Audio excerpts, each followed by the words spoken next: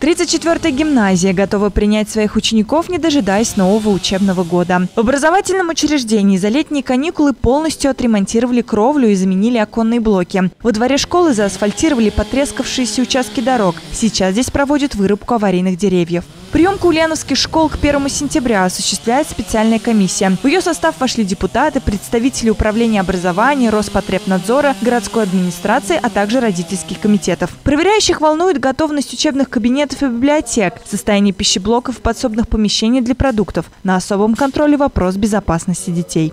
Сегодня э, практически все школы оборудованы тревожными кнопками.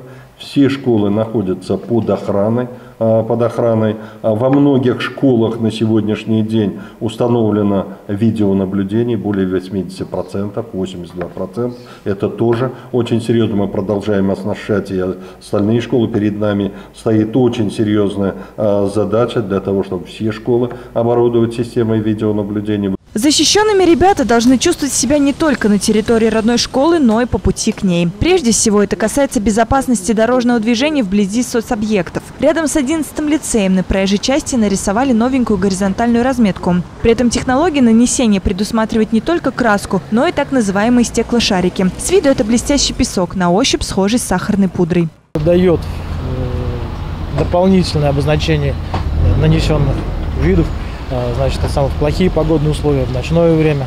Это происходит отражение от света фар и обеспечивается лучшая различимость горизонтальной дорожной разметки. Такие стеклошарики наносят на только что нарисованную зебру и предупреждающие на асфальте таблички «Осторожно, дети». Все работы по нанесению дорожной разметки планируют завершить к 29 августа. А акт о приеме готовности все школы должны получить на две недели раньше. Рената Алиулова, Руслан Баталов. Новости Ульяновской правды.